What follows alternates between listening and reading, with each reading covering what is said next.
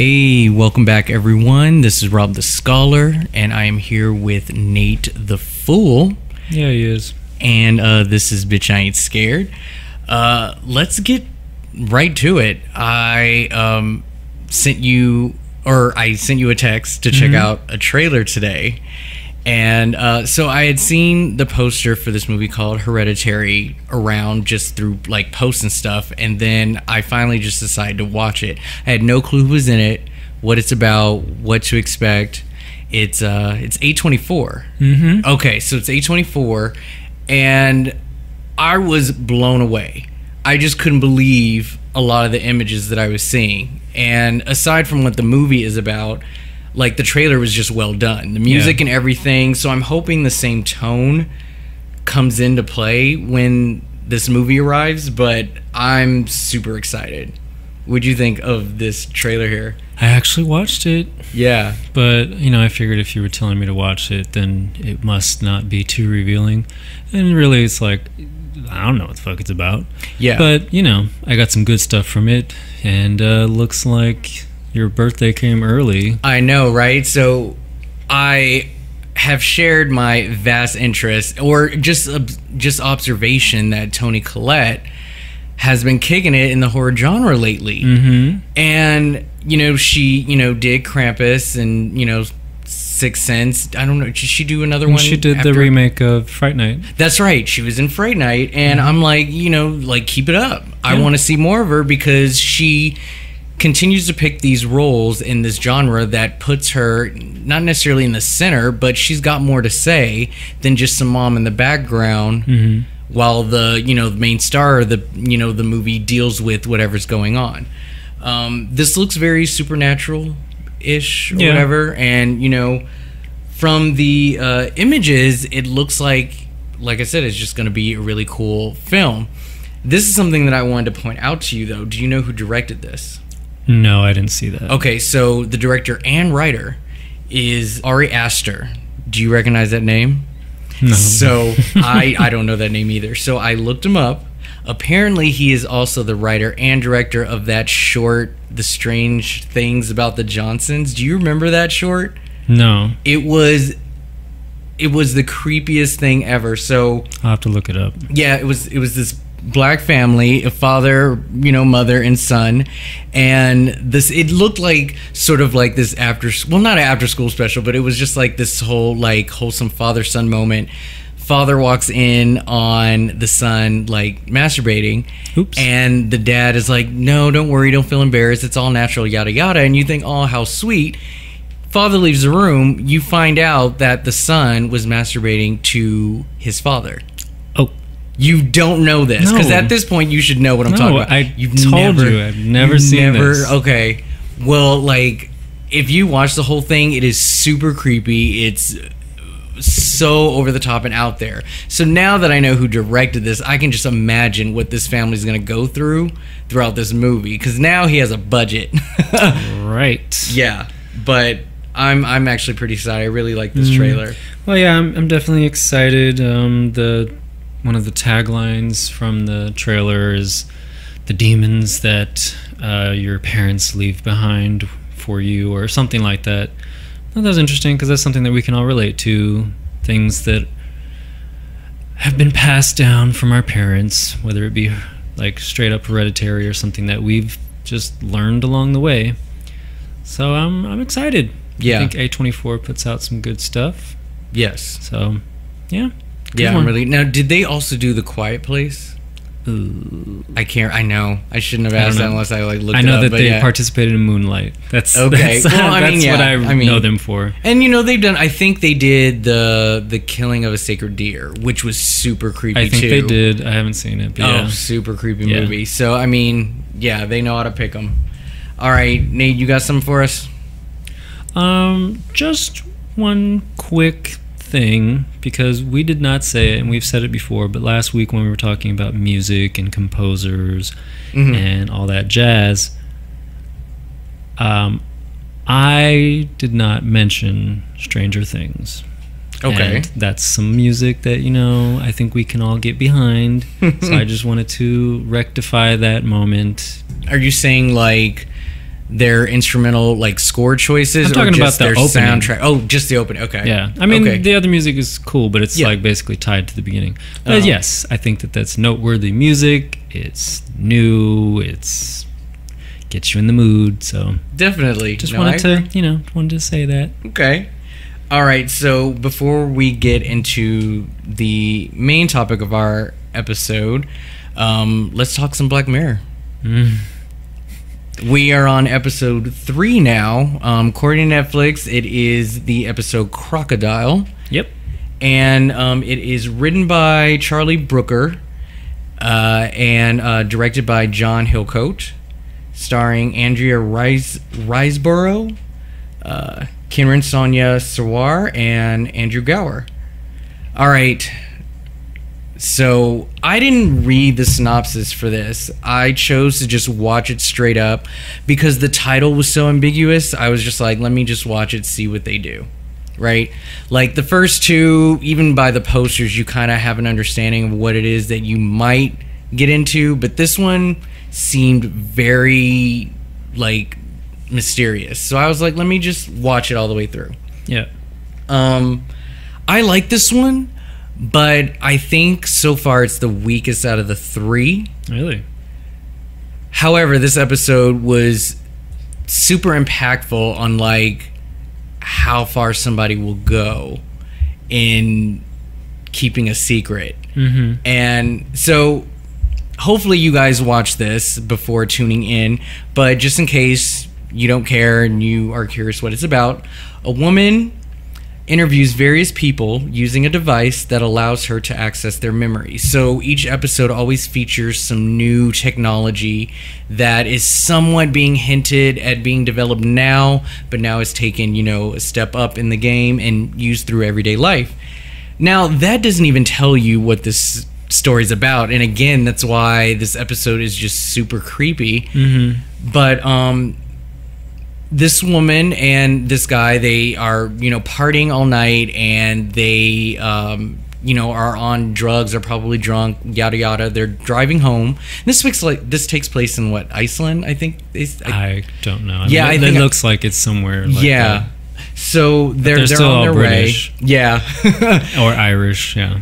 And uh, they pull a I know what you did last summer and hit someone who looked like a child. First of all, did That's you? what I thought at first. Yeah, I thought it was a child, and um, of course, I mean, apparently it was it was a man, but they obviously are high as fuck. You know, they're not really thinking straight. They're you know in shock, and they decide to not only not call the cops, but they get rid of the body. Like it's their secret to take with them to the grave because they know they're just going to get fried for it. Not literally, but I mean, they don't want to go to jail. So then you cut 15 minutes or 15 minutes, 15 years later, and the story just focuses on the woman who was not driving. She actually wanted to call the cops, and it was the guy who was like, "No, we need to hide this." And she, you know, came off with a really good life. She's got a husband, a nice job, a son, you know, living the life. Uh, so what do you what do you think about this episode? Um, I just finished it before you got here, Oh, okay. and honestly, I'm like, I'm really depressed now. did you I- I did you forget to watch it or? Um, yeah, I mean, I just was like, oh, I forgot to watch it. Let me, let me hurry up and watch it. Um, yeah. I almost sent you a text, and just in case. Well, I meant to watch it yesterday, but that's Yeah. neither here nor there. Mhm. So yeah, it was a huge downer. I, I definitely felt sorry for her in the beginning because you know she was like, "Oh my God, we have to call the police." She, even though she was high, she did want to do the right thing, and she was resistant. She's like, "No, we're not going to do this," but she still did it. She still went along with dumping the body. Yeah. Um, but yeah, she did move on with her life. 15 years later, um, at first I was like, man, the nerve to now feel bad. You want to feel bad now, sir? Get the fuck out of my face. Yeah. Um, because she did. She moved on. She was married. She was cleaned up. He had only recently just stopped drinking, so you know, I, felt like that was a little unfair for Those you 12 to. steps are super strong. Like they they really get to you when you want to make amends for your past sins and they literally will have you go back to birth. Like if you came out of your mom like all like pissed and painful and all like they'll make you do that. How do you know this, Rob? We're not going to get into that. So, you know, it definitely was shitty because he was like calling all the shots. Like, nope, we're going to dump the body. And now, you know what? I'm ready to confess my sins and I'm ready to just take the consequences for these actions. But I will say it was very nice of him to go to her before doing this. I don't know why he thought she was going to agree to this and like go together holding hands walking into the police station, but like yeah, of course she's going to have reservations, especially after so long. Yeah. So, um, I think the technology aspect was interesting. It's always interesting. Mhm. It was somewhat reminiscent of the other technology we've seen with San Junipero and USS Callister. Yeah, Uh, but it was different of you and because it was that. like a little like a needle thing. Oh, I know. Not great. I didn't great. And everyone that. was just like, bloop. Yeah, it's fine. What? Didn't Yeah. that hurt? Yeah, so this is what was interesting about that technology too, because it really had nothing to do with her at all. You know, like the when I read the synopsis earlier, it was speaking about a different woman. She has a job where she deals with insurance claims, and this guy was hit by the best invention in the world. I know. I mean, what the hell? I pray somebody thinks to do that in the future. Just don't hit anybody. I know, just don't hit anybody. But yeah, um, she had to make sure everything was up to par and and that this guy was telling the truth mm-hmm. about his claim that this automated police, you know, pizza delivery truck hit him in the middle of the street. And she needed witnesses, but the technology, what it does is that you can go into their minds and and literally go back and visualize the memories leading up to whatever moment needs to be tracked.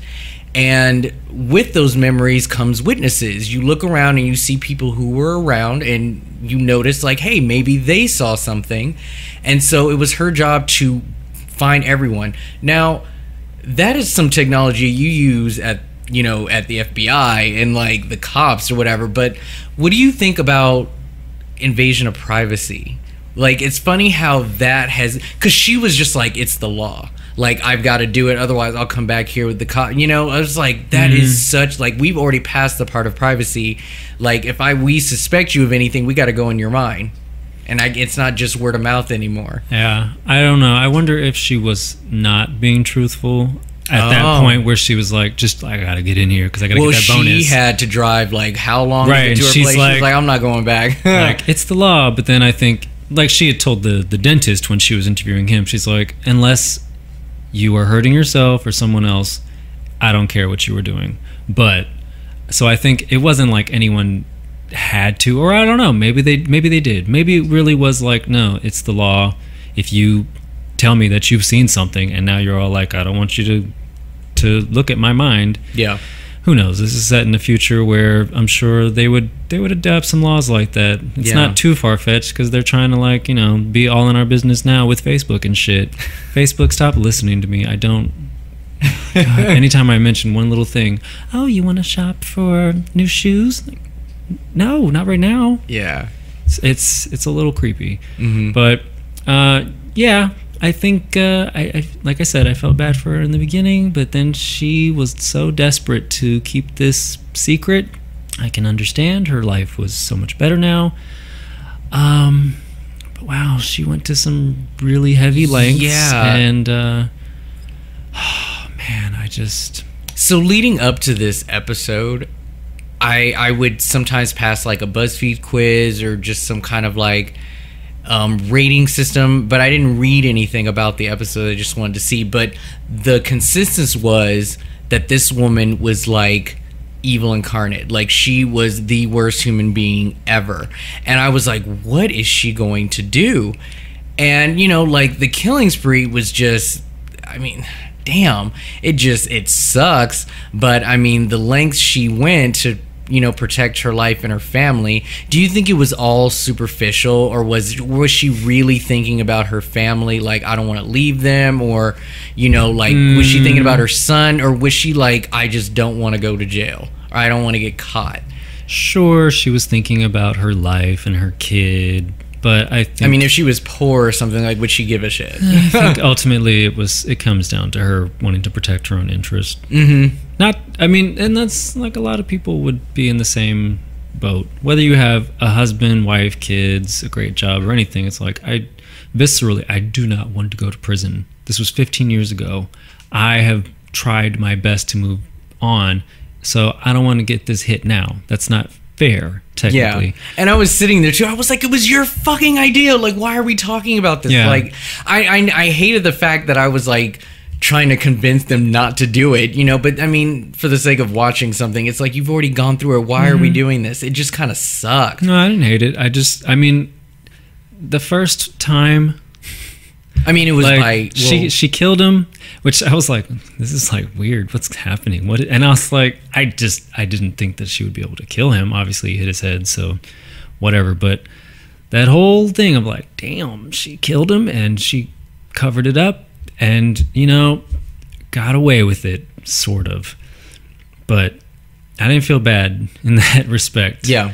Um, but then once she just starts killing like everybody who could like expose her, man. That was cr- so. Remind me, did the did the features of the technology come about in the episode before she did that initial kill? uh, I don't think so. Okay, I mean, so- so we 'cause found out we saw her like at home. Um, the insurance Yeah. woman, uh, she like turned it on. Like you Okay. saw it at her computer, and she Yeah. like propped it up and turned it on. Okay. but I don't think you so knew we what didn't it did yet. we didn't know what it did yet okay Yeah. so i think when we discovered what the machine did i was like oh sh- they're gonna see that she was a witness and it's just gonna track all the way back to her and i was like god damn it black mirror you Mm-hmm. Yeah. you sly one Well, and also with that, I felt like, oh, okay, well, I know where this is going because. Mm-hmm. Um, I mean, at first, I didn't know. I didn't read the synopsis. I didn't know anything about it. Yeah. Mm-hmm. I, I was just going along, and but then once they introduced that aspect, I'm like, oh, okay. So now she's going to.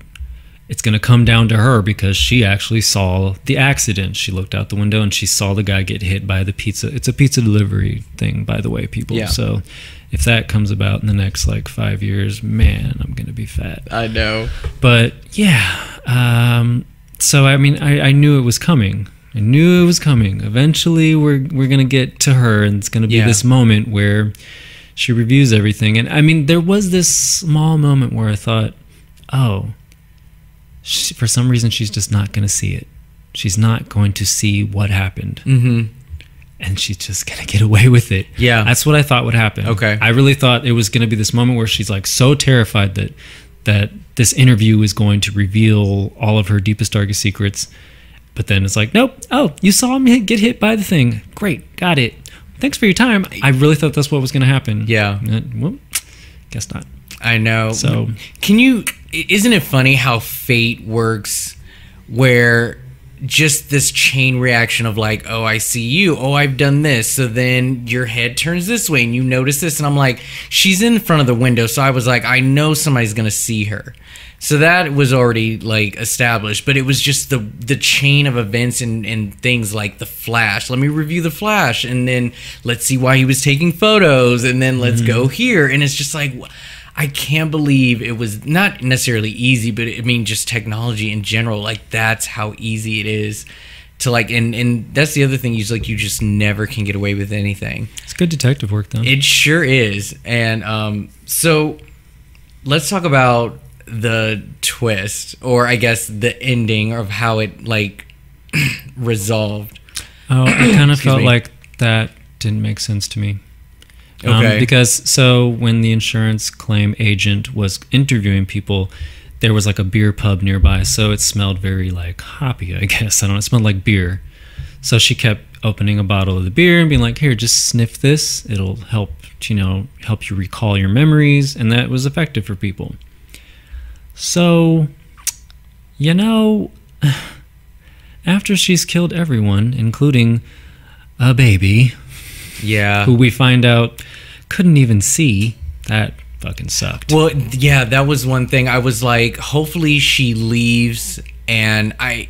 I was hoping that she wouldn't notice the baby. That's the thing. It's like, so the baby cries, and I'm like, yeah, she's gonna feel real shitty after she finds out they have a kid. Yeah. And then I was like, okay, so she's gonna hear this, and then she's just gonna leave, right? Because I'm like, okay, she'll have her moment, and then she'll just take off because she left the baby orphan. And then the camera, sh- you know, cuts over, and the door's fucking open. I'm like, fuck Yeah. the baby saw her and i was just like god damn it and the baby did not see her. yeah that the was baby was blind. so crazy So this twist of I mean I'm glad that I'm glad that she got caught. Mm-hmm. After all, it was like Jesus. Um mm, they reviewed memories from a guinea pig.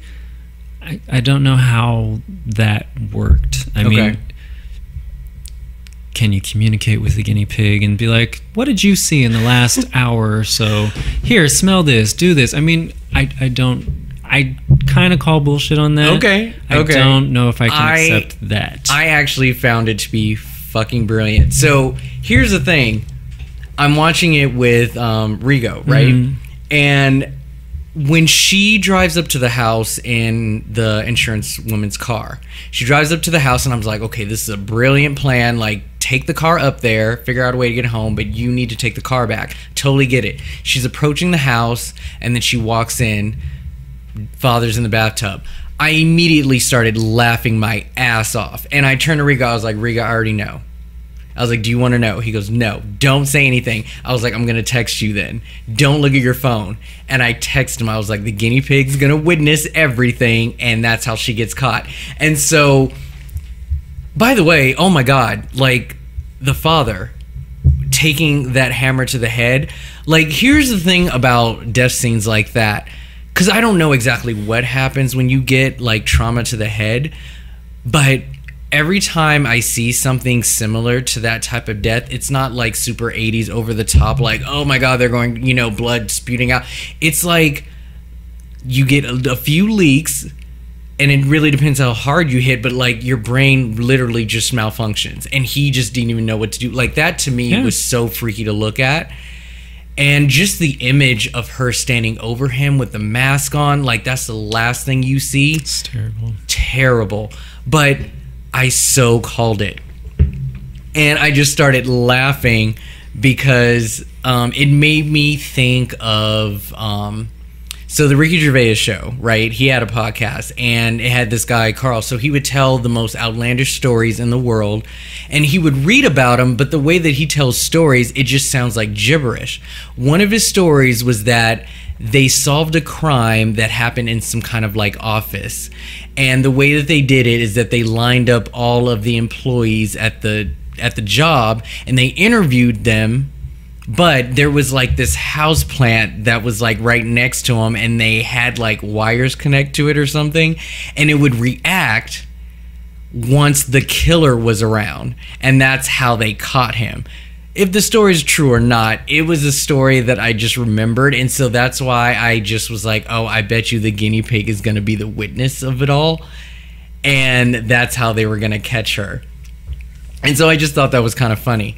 To touch on your shenanigans claim, I mean, I'm not the study of animals, so I'm I mean, I think it's possible. Sure, it's possible. And you know, obviously they didn't use the whole beer thing cuz he wasn't at no, that location. I'm not saying but that they yeah. didn't use beer. It Yeah. had nothing to do with the insurance claim. But this whole time, it's been like humans, and Yeah. then it's like a guinea pig. Yeah. Well, I mean, if anything, they had to do, you know, animal trials before humans. So I'm, I'm sure they knew that they can get something out of it, and it didn't hurt to try. But I mean, for the sake of the episode, I guess it made sense to just do it that way. But I, I thought that was kind of clever. I mean, obviously, I saw it coming, but it didn't take away from, I guess, the entertainment value of the episode. So, I mean, yeah, I thought it was all right. Um, what was it? Oh, did you like the technology? I think you may have answered this earlier. Um, just Yeah, kind I of mean, it was cool. It was interesting. I liked that it wasn't um, perfect. mm-hmm. It was Um, and I, you know, I thought I had this thought that oh, well, at the end, since the police were there, Yeah. to and they said, all right, let's get out of the way and let the recallers do their job. Yeah. Uh, I wondered, was their technology better because they were police? But then I thought, no, because it's all government jobs. Like the insurance is, it's like a government agency. Yeah. So I'm sure it's like the same type of technology. But it's like that. That made me think. Was it better? And that's why. Oh, we can hook it up to this guinea pig, and we can see exactly what it saw. We don't Yeah. need it to be able to communicate with us. We'll just Yeah. rewind and, and see what happened. Mm-hmm. But uh, yeah, I liked that it wasn't a clear cut, sure thing. I liked the moment where the dentist was like, she was wearing a lime green coat. She said it was yellow, actually. And then it like changed in Mhm. his mind because, like, oh. And she's like, you know, it's subjective. I mean, things change. So that, that was interesting. Yeah. Um, the music, like they used the music to recall memories. I thought Mm-hmm. it was really, it was cool. All these Yeah. different sensory things to help us uh, recall our memories. But Yeah. yeah, it was interesting. And so, how would you rate this? Hmm. I'm not sure, honestly. Uh, I mean, I would say a four, but I kind of feel like it was a three and a half just because it pissed me off. Okay. You know, I mean, and it doesn't matter that it depressed me. Like I'm heavily depressed now. Um, I really am. It was it was a really traumatic like like I really wanted her to let that woman go. Yeah, and I mean, and just the simple fact of like this is what we've been reduced to, and Mm-hmm. you know, it's just not to say it was super easy for her to do these things. No, I think it was very hard. yeah, like when people saying like evil incarnate i mean ooh i'm on the fence she she did some really horrible things and once she killed that baby i was like okay Mm-hmm. but this is kind of where the title of the episode kind of comes in too, because i was gonna ask you Yeah. Okay, so for me, this is so the my first instinct was, oh, go ahead. What do you no? Go know ahead. i just thought it. of like crocodile tears There you go. That's exactly. So that was my first reaction was like crocodile tears, and not to say that she was completely insincere about it, but it's like but- come on you're Yeah, doing all this shit. stop crying. But stop crying bitch. The the other theory is is that you know just the crocodile itself with its hard exterior and you know its very raw sort of animal instinct attack, you know it kind of plays off hmm. as like a log where you know you I'm not in danger, you know I'm not a danger to anyone, and then bam it just snaps at you. She kind of came off that way because you look at her and there's nothing really you know dangerous looking about her you don't really see that she's a possible killer. I mean she already yeah yeah i mean she goes to her son's recital. Nobody around her knows that she just killed two people and a baby. Like that no three people and a baby. Mm-hmm. Like you don't see that and then so that kind of where the title kind of comes in too. Yeah. I'm about to say something and you know Yeah. i don't want you to like laugh or think i'm ridiculous because. I, I always like come up with these social commentary things but i think there's definitely like a component whether they wanted us to see this or not yeah you know, because when we met her, she had long red hair and she was carefree and Okay. on drugs and living life. Okay. And then next time we see her, her hair is very short mm-hmm and icy blonde, and you know, so she's more mature. yeah But the fact that this man made these decisions and basically forced her to go along, it's like she did not voice how she really felt. She didn't do what she wanted to do. She went along with what he wanted. Yeah. And then years later, he comes back and is like, guess what, bitch? I'm going to do it again. You got to do what I say. And that made her snap. okay So for me, it definitely makes me think of patriarchy okay because white male patriarchy is imposed upon white women, yeah even though they're supposed to be equal Mhm. in the supremacy. They're not. okay But they're expected to go along with everything. yeah And then that's sort of like this chain reaction of them lashing out at everyone else. mm-hmm So she was like, fuck this white man and fuck all these brown people, including their babies. yeah So I'm not being funny. Yeah. I'm being serious. This was like something that I really felt watching. I was like, Yeah. damn, that's Mhm. some deep ass shit. yeah And you know what? They actually ended it where it's like, I mean, yeah, the police were there and they were pointing in her direction. That's how they ended it. Yeah. So maybe maybe she fucking got away with it. maybe the guinea pig didn't work after all. I don't know. yeah Open ended. But what would you say, Rob? What would you give? I'm I'm giving this a three. Um, Mm, one of the reasons why it got a lower grade is because and this is not a bad thing. Look, the episode was very entertaining. I liked it. Um, but what I look forward into watching Black Mirror is I want to see the technology drive these people crazy. And not not in the literal sense, but like I want it to have more of a heavier impact into the behavior of its characters. Now, the episode sort of played out in a way to where you didn't really need the technology. I mean, it could have just had witnesses or a clue, or maybe she walked in and saw a murder weapon or something suspicious and she got scared and left.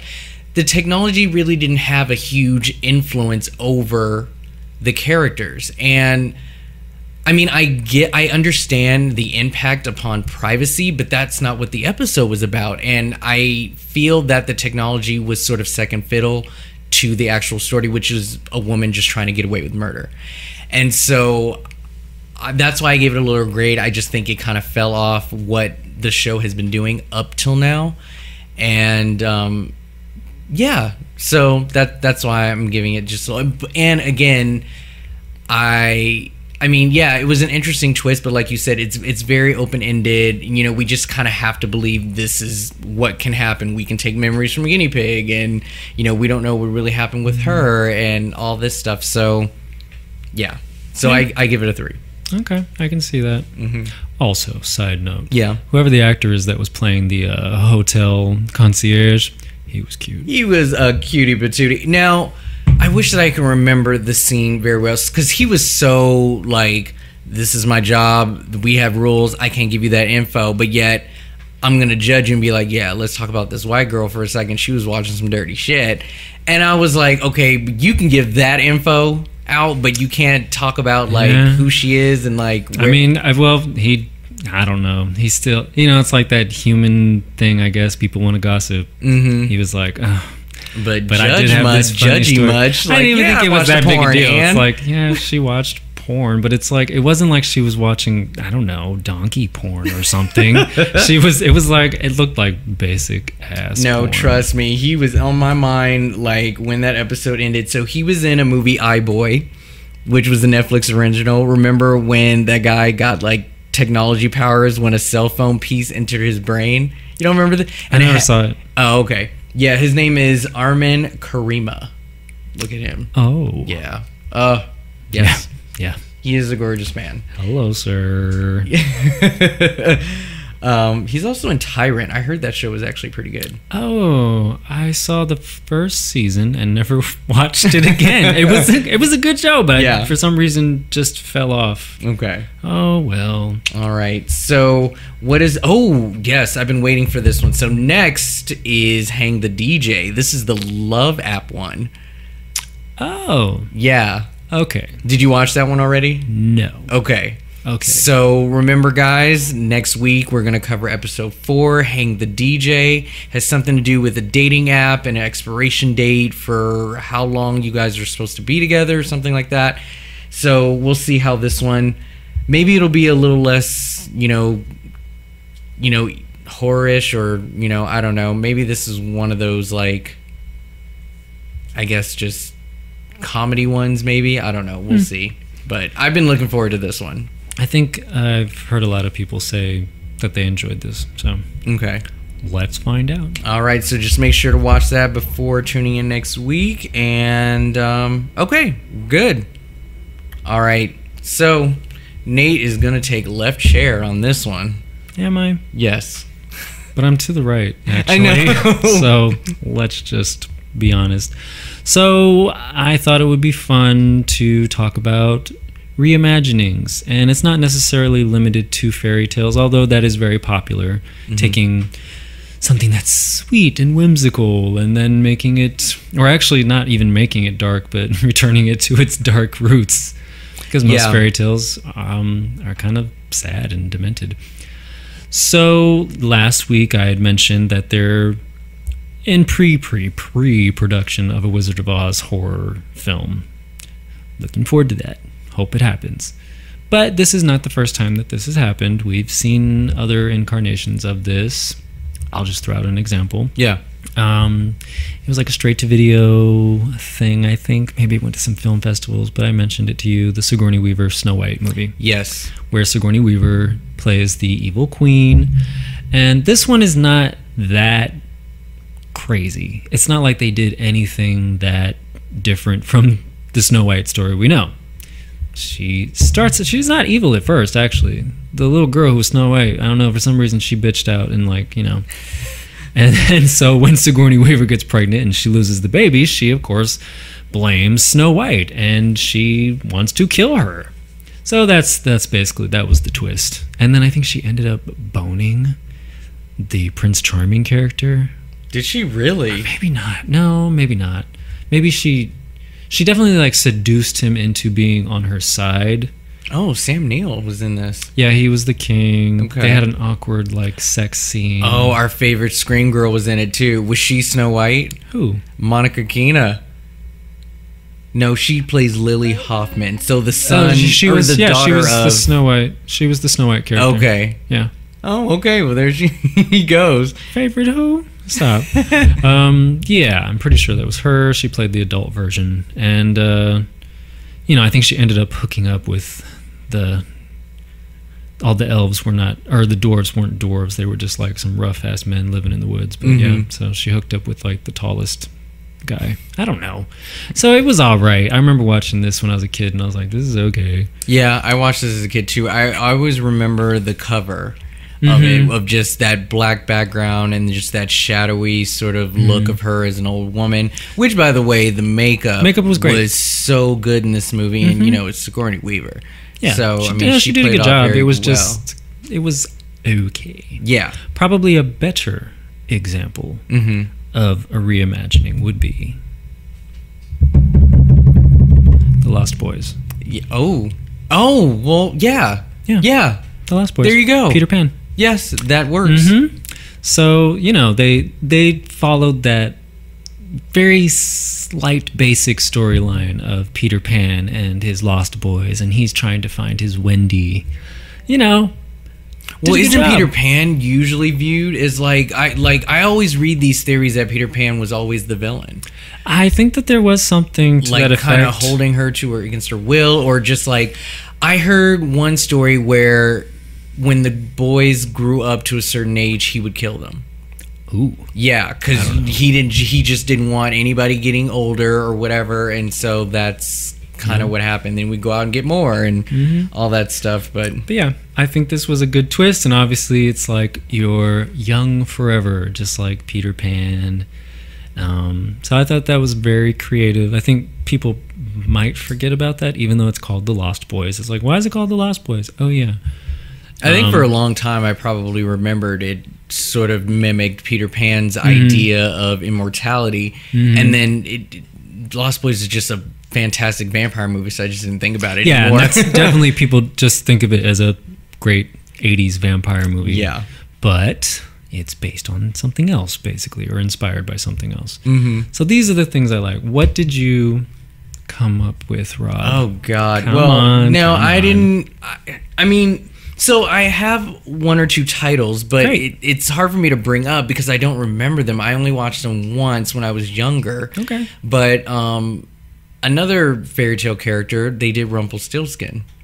Did you ever see that one? Oh, that direct to video thing? Yes. Oh, God. yeah. I mean, Yes, yeah. yes. So they did that one. okay. That one was like That was weird. they really tried to take themselves seriously more than Leprechaun, but still was very comedic. Like there was just no way we could take it seriously, but they really tried to amp the horror in that one versus Leprechaun where it was just, you know, he was saying a lot of funny one-liners and all that stuff. But yeah, mm-hmm. It's a good reimagining too. Leprechaun. They're Yeah. usually like nice little. I mean, they're mischievous, but they're not fucking killing people. Yeah. They just don't want you to steal their shit. So you know, what else? now I mean I don't know if that classifies a, a reimagined sort of yeah, story it's because reimagining. I mean, Rumple wasn't a good character. he wasn't, but, he they- wasn't killing anybody. Okay. Yeah. He just like did tricks or something or or like Mm, deals. I mean, or- he taught her how to spin straw into Yeah. gold Yeah. to help her like get out of you know getting her head chopped off. But then he wanted her firstborn child. Oh, maybe that was it. Was that I'm trying So, to I mean, remember the the plot of this one. Like she want, he still wanted her firstborn child. I don't remember what the deal was that was made. I think, oh, and for some reason, I think it was like a really basic ass thing where her her husband died, but then she was like, oh, I want him back. I'm so sad, and I think somehow she made a deal that he would come back. And you know, they he comes back. They have a night of passion, and then for some reason it I don't know if it was like Rumpelstiltskin disguised as him or something because it Mhm. totally boned her. So rude. But when she goes to like get in the shower with him, it turns into Rumpelstiltskin, and then she's like ah running for her life, and he's killing everybody as she's trying to get away with her child. Yeah, so that's that's basically what this was. Is that yeah, Rumpelstiltskin gets released, and then um, his goal is just to uh, demand possession of the baby. That's basically it. Yeah, I don't know. It, um, yeah. I mean, I saw it once when I was younger. It wasn't fantastic. Yeah. But I just remember him having to deal with modern technology at the present time and just like dealing that. with that kind of stuff. But he was very laughable, very comedic, kind of a jester joker like. He looked like a life size troll from Cat's Eye. They kind of had Oh, the yeah, he had same that- look a little bit. Hat, he kind of did. Yeah. Yeah. Um, It's not scary though. no. the only other one that I could think of was Pinocchio's Revenge, but then that I don't know, to me I really didn't count that. Um there's Hansel and Gretel. Yeah. Do you remember that one with um With Gemma Arterton. yeah, who was the bro? I forgot. Uh, Jeremy Hawkeye. Renner. Jeremy Renner. Yes, yes. I found that to be entertaining, but to me it was just super super cheesy. I mean, I get the whole concept which is, you know, don't make these kids weak. They actually survive their tale and make it their mission not to let it happen to anyone again. That's an amazing concept. I just don't. I think this reminds me a lot of uh, Pride and Prejudice and zombies. Ah. That you just give them way too much firepower. Like they they know karate, they know all of like anything in martial arts. They can do everything, mm-hmm. and it's just I don't. know, To me, there's just no kind of suspense there. And I just love the aspect of them growing up having this responsibility. Like it could have been a super good supernatural sort of thing. You know, brother and sister, they have to deal with it, but they're not perfect. They just know that they have a responsibility. Mm-hmm. And they just took it to this like actiony packed thing where it was just full of like Yeah. Yeah. It's not the horror that you're thinking of where it's suspenseful. It was mm-hmm. an action movie. yeah, I just I guess I just mm-hmm. preferred it to be And you, know. just named another one, Rob. You keep saying, I can't think of any, but you said Pride and Prejudice and Zombies. Yes, that is that is Sense definitely- and Sensibility and Sea Monsters. But I mean, I'm just saying, it's like I didn't want to bring these up because I had never seen them, so it's just like, why? Yeah, But still, I mean, these are things that it's like, I mean, who thought that you could turn Jane Austen into a zombie flick? yeah, Um, or the comic book that I keep mentioning, mm-hmm, the Harriet Tubman. Harriet. Tubman yeah. Demon Slayer. I Mhm. mean, there's a lot of things that you can do. Abraham Lincoln Vampire Slayer Yeah. or something like that. Yeah, Vampire Hunter. Vampire Yeah. Hunter, my bad. So, what do you think is the sort of like? I'm trying to think of the right word here. The the advantage or or n- not need, but just like what's what's the thing that people like like making these types of movies? It's fun. Yeah. It's fun to write it. I mean, reading these books and watching these movies, these comics, it's just a fun idea, in my opinion, Mhm. to take Civil War era characters or Elizabethan characters and put them in these scenarios with monsters and things trying to kill them whilst they're also, you know, trying to like speak prose to Juliet on the balcony or something. Yeah. They haven't done that yet. Mhm. It's only a matter of time, I'm sure. Only a matter of time. Um, I won't really go for that one because I don't like Romeo and Juliet. It's not my thing. But I just think it's it's more inventive to me than straight up remaking Halloween or A Nightmare on Elm Street. It's like we've seen that. okay. I mean, I don't think that there's really any room to like put. Um, well, I was about to say something. I was about to say there's no room to like put um, Freddy in like a Shakespearean situation. But that movie that's coming out, Ready Player One, features Freddy and probably Yeah. some other characters. So that's really that's kind of fun. Yeah. I think we like seeing the merging of different universes. Okay. I think it's more creative. So you you do encourage these type of movies to Yes. Can you or any of the movies that we just mentioned were, were they good? I mean, we don't really see too many of theatrical releases. Most of these titles we mentioned have gone straight to video. Are they made to be Mm. Most of B them. movies? Are they made to be you know cheesy and funny or something to poke at? I mean, and yeah, some of them have not been done well, Mm-hmm. or a lot of them. I liked um, Hansel and Gretel. Okay. I saw it. I mean, I saw it on Netflix. You know, yeah. basically it's free I went to the theater. after you pay the monthly thing. But I watched it and I knew what I was in for. They're killing witches and it's fun and there was lots of makeup and maybe too many visual effects, but still it was fun.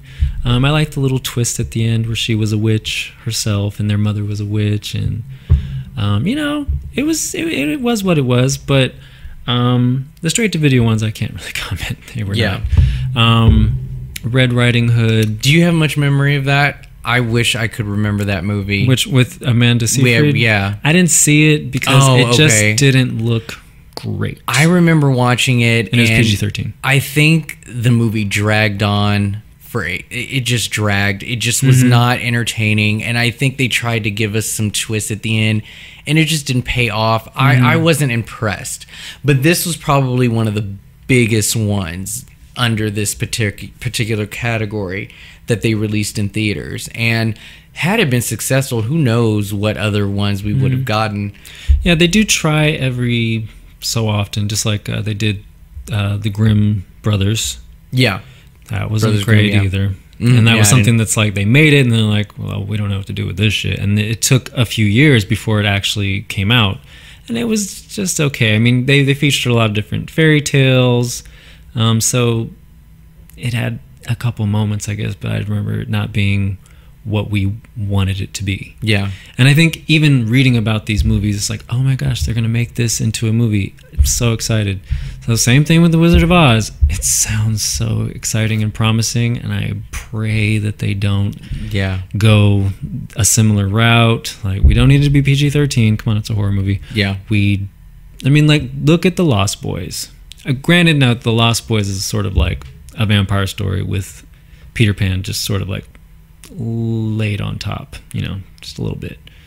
But that's that's a good idea, and these stories can be told. Um, I didn't see the Sleeping Beauty thing on Netflix. Um, Uh, I was almost there. I had my button on the on the okay, and I was like, I can't. But what I did do is watch the even.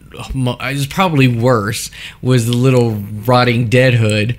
Oh, Oh. my god, this movie was horrible. but the star, the Hood. cast was like, well, maybe it's decent because they actually got people that I know really? in the movie. Romeo Miller. Yeah, Okay. and um, Eric Balfour.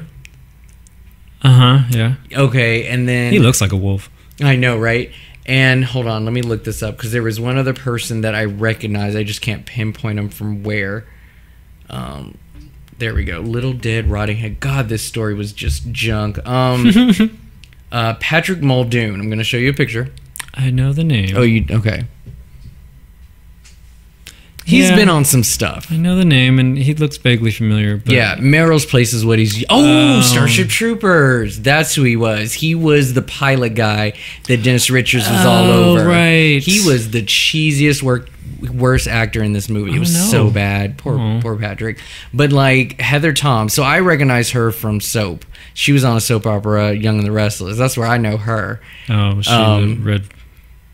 I don't recognize. Don't recognize her. Yeah. So I that's where I recognize her. But so I was like, Sure, okay, they had fun. this movie could be decent. No, the story was just bad. All the kills were horrible, but they were mostly wolf attacks. And this woman whose grandmother, um, I guess, killed her granddaughter, buried her, and then killed herself because it was in her destiny to become this sort of wolf hunter to these wolves that were obviously more than just your natural wolf. You know, they were hybrids or something, and it was you know, obviously her destiny to take care of them. And so when the wolves started attacking, and there was going to be this whole takeover, that's when she rose from the grave, and then she became this like sort of half woman, half demon chick, and started hunting them down.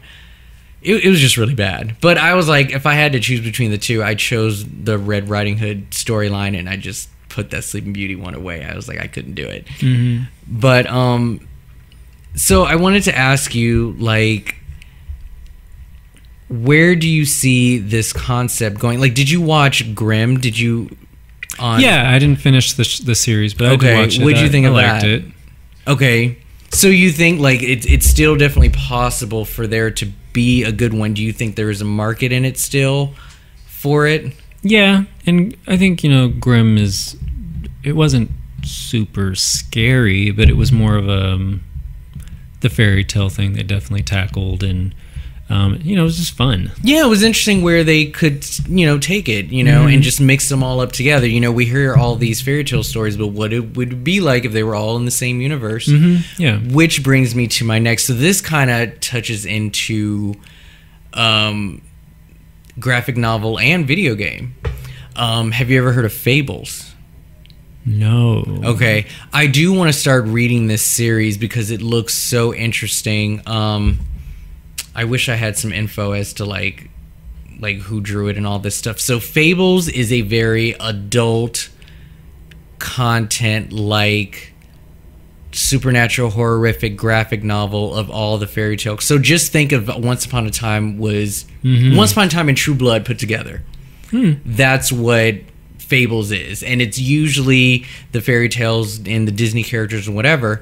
So they actually took that story and created a um, a story based um, video game for you know all the consoles, or whatever.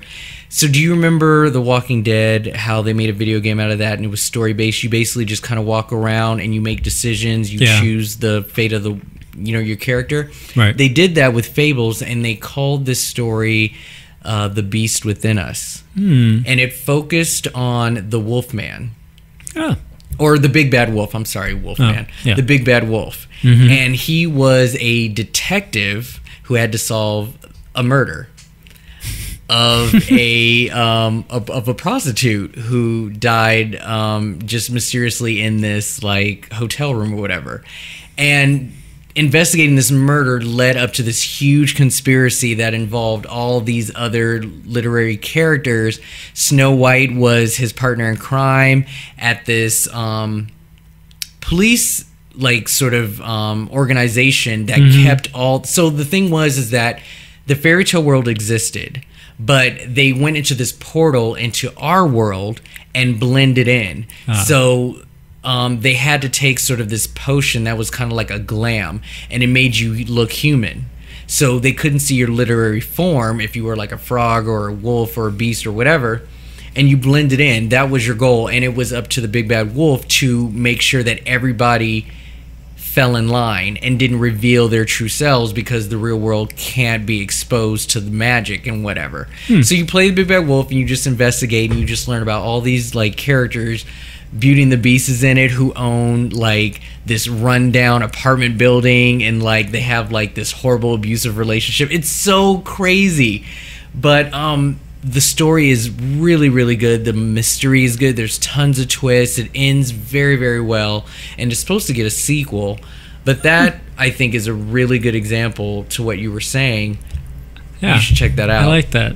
check I out like that. fables yeah so um, that's pretty much all that i could gather Mm-hmm. as far as um, and yet all i could find was you know fairy tales i couldn't find Well, any movies that were most- just like from comedy to horror or something i couldn't find any Uh, the most recent example would be The Shape of Water.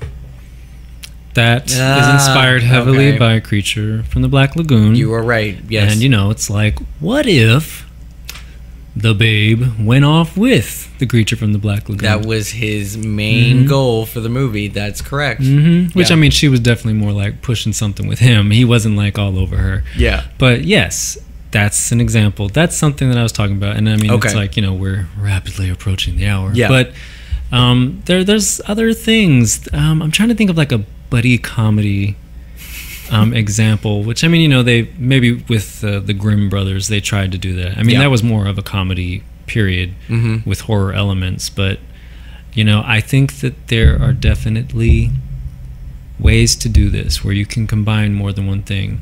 The Shape of Water, people are like, oh, it's a love story, it's a drama, but there's moments where it's very scary. Not necessarily because of the creature. Yeah. He's not scary, but there's people in the movie that are scary. Yeah, definitely. um, that are, you know, do, do horrible things. well, there were stakes for sure. I Mhm. thought so. Yeah, I agree. So, um, our perception of horror doesn't always have to be so limited to people being ripped to shreds and a monster jumping out from the side, and it's like, oh god. There's elements of horror laced into all kinds of things. Um, you know, even though Jordan P- Peele himself kind of refrains from calling Get Out a horror movie.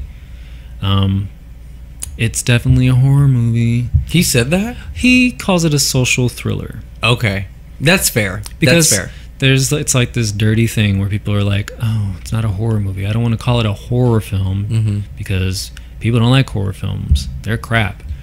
So, Guillermo del Toro has stressed that The Shape of Water is also included in the horror genre. Okay. It definitely has those elements to it. So it's it's all about being open minded. Yeah. And I think reimagining these stories opens your mind. I think that combining different stories is very creative and it doesn't limit you to just putting a knife in someone's hand and a mask on their face. Yeah. I have always thought of ways to do re- reimaginings with other titles, but not necessarily for the horror genre. But I've I've always thought about that, and it's interesting that you decided to do this uh, topic today because we are in this phase of remakes are the safe bet, and I think that if you don't have an original idea, taking a story and giving it that certain twist into a different genre or something, I think can be a way to put your own ideas up instead of just remaking the same story over again. I mean, just look at all of the um, re edited cuts of trailers that are on YouTube where they make comedies look like horror movies. And I just think those are so funny, but they're believable. Uh, have you seen the Sleepless in Seattle trailer? I have not, but I Oh did pass it. My God. Is it really turns out it's, to so, it's like a thriller. So she's like she's tell me. crazy. Okay, so she's the crazy Yes, one. That's why I was like, as long Fatal as she's the crazy one, and she's I'm kidnapped good. his son. That It- is It's like, oh my god, they did a really good job of this. It looks like it's legit a thriller. Yeah. So So I mean, but I mean, and that's just a fan out there who just Mm-hmm. had an idea and wanted to have some fun. You know, th- remakes aren't the only answer out there for guaranteed money, and I think this is a great way to establish a little bit more of a creativity when you reimagine something. You know, Mm-hmm. and I, I give it. I give points to sci-fi for trying it. They do it all the time, and they tried with um, you know Wizard of Oz, like I said last week, with Tin Man, and I I thought that was cool. and they did the same thing with Alice in Wonderland Yeah. on sci-fi. That one, I Yeah, think I Tin Man really- was better than the Alice thing. yeah, but- no, I agree. I agree. You know, you gotta try. But yeah, you did um, tell me to think of titles though that would be cool to reimagine. What what did you come up with? If you thought of any, did you think of any? Oh, I mean, you know, Rob, I tell you to do stuff and then I don't do it. but I think that there's definitely like going back to the old original Universal monsters. I think that's fun. Okay. Um, obviously, we saw the. It was basically like a remake of the Invisible Man, Hollow Man. I don't know how successful that was. Yeah. But you know, it's like they took the Invisible Man and they made it fucked up. Mm-hmm. Um, Shape of Water took Creature from the Black Lagoon. So I think you could take the original Universal monsters. I mean, Bride of Frankenstein, she never gets any love. I know. Basically, Bride of Chucky did that. You know, There. Oh well, there you go. Oh yes, yes, that's right. So- that's right. that's a you know, it's not a remake, but it's like it's a nod to Yeah. the Bride of Frankenstein. Yeah. So definitely. these things can be done. Okay. Well, I actually did think of some titles. I mean, I didn't really come up with like a plot or anything, but for some reason, all I could think of was kid movies turned to horror movies. I don't know why my mind goes to that. Like what? So, Adventures in Babysitting. That to me was on the brink of being a suspenseful thriller in itself. It was an adventure movie. The way that they kind of depicted Chicago downtown just made it look terrifying. And some of those like scenes did seem a bit scary, but I think that if they were like really on the run from like some mobsters and they had to protect the kids and stuff. Mhm, and she's like out on the damn roof, the glass. Oh my down. god, yeah. That's scary. Like it, they could easily turn that to a horror film. Mhm. Um, I also, I also would, I would be okay with the Goonies being a horror film, and even like taking out some of them kids in, in the process. Like, I just found it hilarious that they all ended up surviving eaten that by that whole octopus. that whole entire excursion, like all of those traps, and I'm like, yeah, when I really set this up just so seven people can go down there and solve his thing. Otherwise, you're dead. If you try and go in alone, you need seven exactly. And I'm just like, mm, come on. Uh, It could be. Could but be a thing. I I wouldn't mind seeing that as a horror movie. Okay. Um, Toy Story is another one.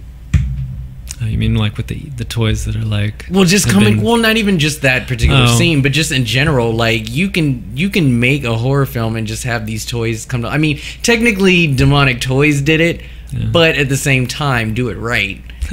you know. Oh, okay. But just kind of the idea that these toys are like around you and alive the whole time. Like in my mind, I was thinking like Pete's Dragon. And what I had thought about with that one is that the existence of this dragon is only if this kid is alive. Mhm. And so if anybody fucks with this kid, Dragon's up there protecting him as his sort of like shadow or just guardian person, you know, and it gets very deadly. And so yeah, that to me is a reimagining right there. You just had I, I had a thought of like a guardian angel. That's also what I thought Arkangel was going to be about. Yeah. like Arkangel, there was going to be like oh something like always watching and protecting, but then it was like going to be some sort of fucked up part of the technology where it's like oops we have a glitch and things like kill whoever just upsets the child. Yeah. it's like you pushed her down. Kids hanging from the jungle gym or something. It's like, oh god. They had a movie like that. Um, do you remember Monkey Shines? oh my. You remember that? God. Yeah. That was a crazy movie. Let's not talk about it. Yeah. it's so disturbing. I can't, I can't. yeah. Okay, so um Well, I'm in a better mood now. At least that's good. crocodile That's ruined what- me. That's what the show is for, is to Mhm. put you in a good mood. Oh, thanks. That's all it's for. Thanks. yeah. Um, I have a confession. Uh-huh. I don't have a bitch really, Rob. That's quite all right. Excellent. I thought of one, but it's it's really horrible because oh gosh, let's just you know hear it because I don't have one at all. I know. Well, it it had to do with the episode of Crocodile that we watched, and Hmm. I I don't know if it's an actual bitch. Really, it's just this is when I was the most pissed off. Is the insurance woman like? She claims she's seen it all, and I'm sure this wasn't the first time she came across something very disturbing in someone's head. I don't understand why she couldn't keep her cool getting to the car. I just I don't know if it was shock value or like maybe that was the most disturbing thing. Maybe it's human instinct. It's just woman, it's your life. Right. think like come on. Like i was just really mad. And i know this needed to happen for the progression of the episode but like you couldn't play it cool. I mean literally she's like okay i'm done now. Goodbye. Blah blah blah. And she walks out and she's just giving out all these signs and then oh, of course her car didn't start what the deuce on that like can we at least see that she's had car trouble in the past like come Well, the we fuck did. on we did Yeah, there was a moment where she was like trying to start a car. She had to push it like three oh, times. Oh, okay, okay. Well, that's So, forgiven. yeah. But I'm just like, you could have played your cool. It, it just made me mad that she just couldn't do it. So Yeah. you know, bitch, really? Yeah. Clearly, she hadn't seen it all Yeah. until then. I mean, but do you think that kind of behavior is is warranted to get the suspense flowing? I mean, isn't there a different way that you i mean maybe she could have played her cool and, and the woman didn't believe her anyway and still went after her i just didn't like the fact that she had like that was the reason why she didn't believe her you know if she hadn't acted all hysterical then she wouldn't have known any Yeah. the wiser and i'm just like there are better ways to tell a story like Yeah. that i just i just don't like that type of thing anymore Yeah. No. Yeah. That's all I have to say. All right, so um, next week we're gonna do Netflix and nominations. We're gonna tell you about all the horror movies coming out in February, and I went ahead and did a little peek. We're gonna be in for a good February, in my opinion. Okay. Um, just combining all from video to demand to theater, February is gonna be a good month. So I'm excited to talk about that next week. Um, after we're not gonna do it on the show, but yeah, we're gonna pick our theme Ah. and figure out what you want to do. Now we can already just do, you know, the whole lovey-dovey holiday theme, or we can just do a random theme that we we haven't done yet. So Okay. we'll figure it out and then come back and um, thank you guys for listening. Make sure to go to iTunes, give us a five star rating, leave a comment what you thought of our episode today and what you think of all of the show. Uh, and yeah, We'll catch you next time on Bitch I Ain't Scared.